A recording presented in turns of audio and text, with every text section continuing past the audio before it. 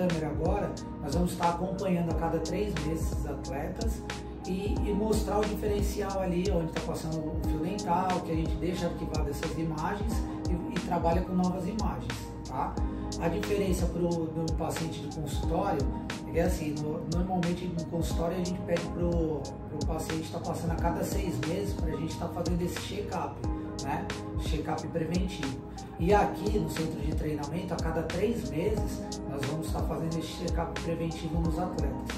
Já utilizamos aqui em duas atletas e você mostrando a, quantidade de tártaro, onde o dente que está com a cárie ali, aumenta muito a imagem. Com isso, o atleta vai dar um, dar um espanto assim, né, no paciente, no atleta. E é muito bacana isso daí. E você utilizando naquele espelho, de repente a pessoa até fala que, ah, tô vendo, tô vendo, mas muitas vezes não tá vendo. Então é sensacional o uso da tecnologia.